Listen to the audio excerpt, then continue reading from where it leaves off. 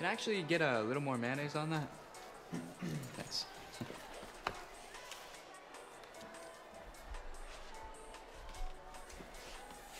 Well, if it isn't Degrassi's little runaway.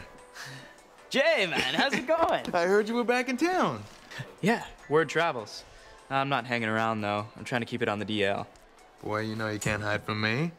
So what's up? You chasing some of that sweet Wasaga tail? Trying to keep out of trouble, actually. Oh, come on, Mr. Modesty. Rumor has it you're opening up a bike shop. Must be nice. Turn your back on your friends, skip town. Still, everything turns out just peachy for you. Dude, it wasn't an easy decision, right? Man, you chickened out.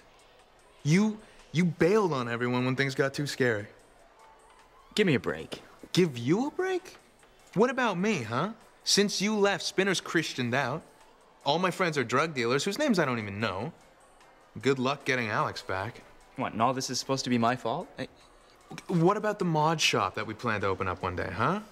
What about what you promised? Not only me, but, you know, that sweet little redhead you left behind. why the hell do you think I came back? Oh, now we're getting somewhere. There is no mod shop. All right? It was an excuse to come here and see Ellie. And if you think everything's peachy in Wasaga, think again. So move back. Huh? We'll hang out, get a rage on.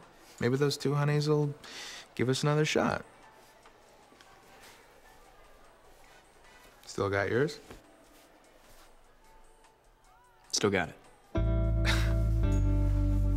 Well, at least nobody can mistake Ellie for a guy's name. Look, my uh, bus is leaving in 10 minutes.